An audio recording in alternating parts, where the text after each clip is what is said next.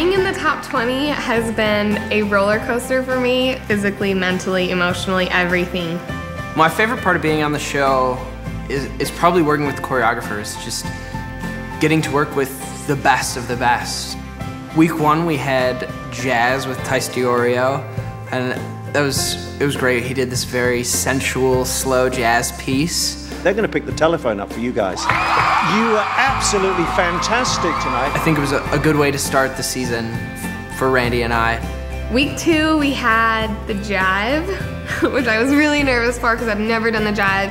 It's just so fast and there's so much movement. It, it's almost an endurance race. You gotta hang in there till the end.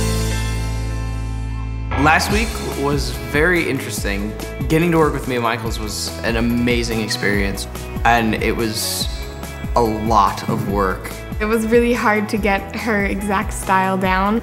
Randi, I know this isn't the easiest thing for you. To have 10 million viewers looking at your butt. All my family and all my friends, you know, they said that they loved the dance last week.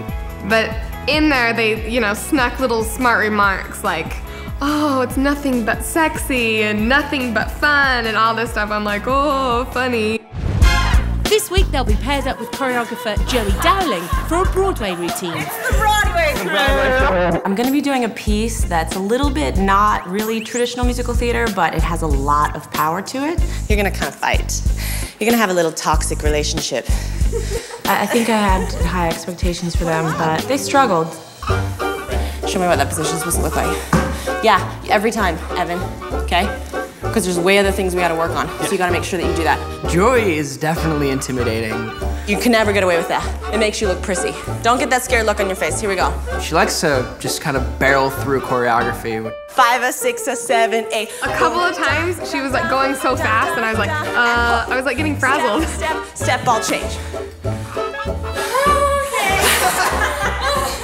I think that she expects you to pick it up the first time, which most of the time I actually can do, but today I don't know. I was just like, go. Down, up, down, slide, throw, back. Again.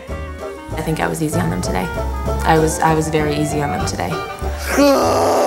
That was a That was a hot mess, to say the least. Ladies and gentlemen, put your hands together for Randi and Evan.